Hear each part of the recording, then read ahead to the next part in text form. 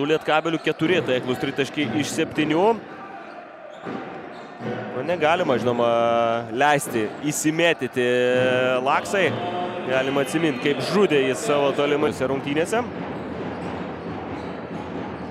Įmestas kamuolys Pacevičiui, šis liko prieš, na, netokį ir nepojėgų ten varžo. Jau kitoje aikštelės pusėje Kori Alenas, klaidinami judesiai ten, perdavimas Pacevičiui, šis taikliai iš po krepšio. Lygos krepšininkais laimėjo iššūkį. Ramūnas Virka.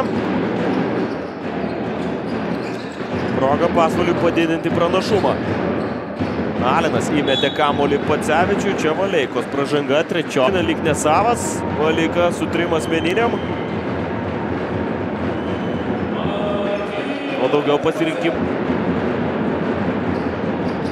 Pacevičius realizuoja baudums iš tolinę taikliai ir čia galbūt nereikėtų skubėti dabar pieno žvaigždėms.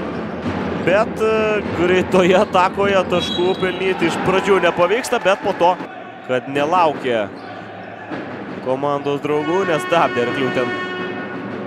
Evo. Apsiginti pasvalio ekipai. Pace.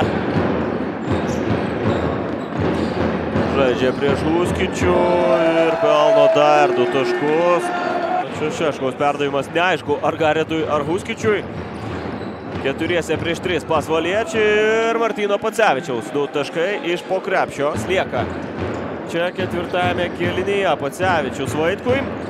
Vaitkus po užtvaros užtikrintai atakuoja krepšį iš toli. Pacevičių pražangos nėra. Greitajame puolime pieno žvaigždės. Šiafas Garetas blokuoja Furmanavičių, bet buvo. Nepavyksta Jonovai po savojų krepšių. Vaitkus šį kartą perdavimas ir šį kartą du Pacevičiaus taškai. Prieš tai matė.